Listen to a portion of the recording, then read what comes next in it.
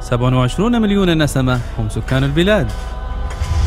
لو صبر كل فرد على ما كتب الله عليه لزاد البلاد قوة 27 مليون مرة.